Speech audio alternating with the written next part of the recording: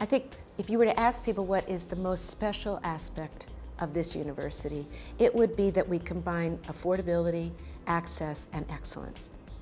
From the day I think the university began, it was meant to really be broadening the reach of education to serve the state, the youth of the state. And of course, we're much more broad in our definitions of that. We try to bring everybody here, have an opportunity to have a great education.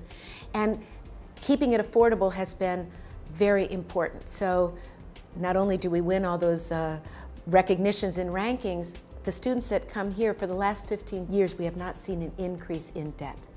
So we have kept the cost affordable and that has allowed us to be able to provide need packages so that students that still can't afford it, and there are many in this state, can get financial aid that can allow them to come here. So I think that's not only important, I think it is part of our DNA.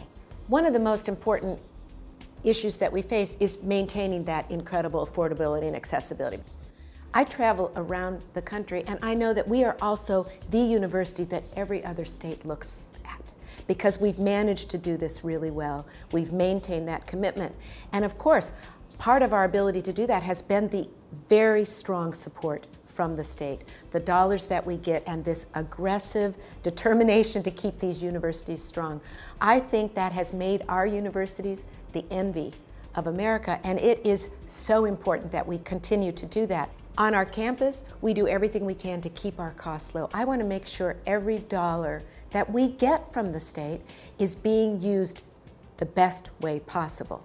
One of those ways is continuing to keep our costs down and meeting need. And I will also explore everything I can to find other funding for that. It's going to be a partnership that we succeed, but it's absolutely critical as we go forward.